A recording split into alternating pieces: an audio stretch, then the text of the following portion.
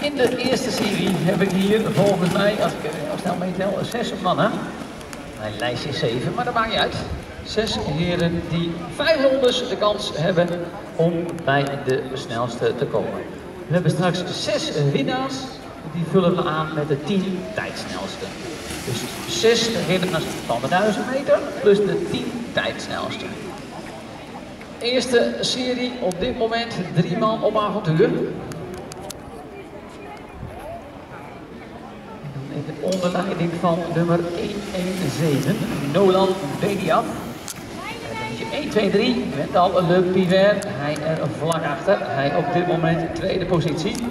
Inmiddels zijn er vier man in de kopgroep. Is er een vierde man aangesloten. Dan is er nummer 3, 9, 4. Spiek op mijn lijstje. Filip Duurspit. Die zijn met... Tom de Haaien. Ik ken ze niet allemaal. Nee, sorry. Die, die heel vaak voorkomen ken ik wel redelijk goed.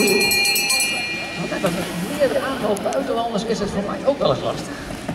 Gelukkig heb ik een lijstje. Nou, ik zou nu nog even kijken of het nummer correspondeert met de persoon die hier rijdt. Kijken wij richting de familie zijn.